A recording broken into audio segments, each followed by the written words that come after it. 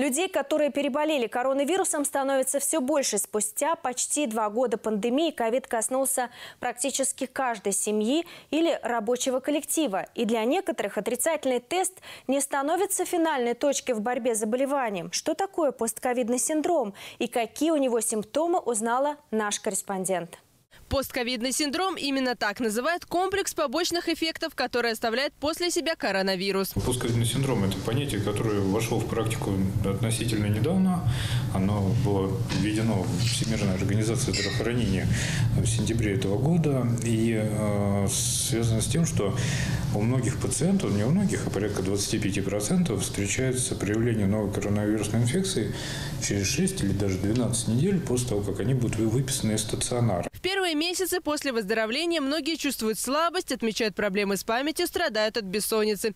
Часть переболевших жалуются на отдышку, учащенное сердцебиение, боль в мышцах и суставах. Обоняние и нормальный вкус еды тоже возвращаются не ко всем.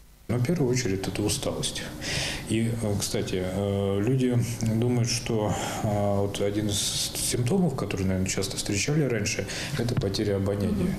Это не из-за того, что вирус плодится в носу. Это поражение головного мозга. Потом у 15% развивается печеночная недостаточность, а у порядка 20% развивается острая либо хроническая почечная недостаточность. Также еще один из симптомов – это аритмия. Так как, по словам врача, вирус поражает еще и сердце.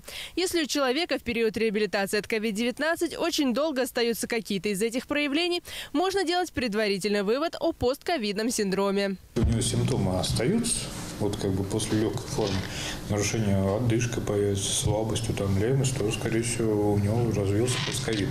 Но, скорее всего, ну, большей частью э, он развивается у людей, которые принесли либо средне тяжелую, либо тяжелую, либо крайне тяжелую форму. Врач отметил, что проблемы могут приобрести субхронический или хронический характер, поэтому необходимо обратиться к медикам.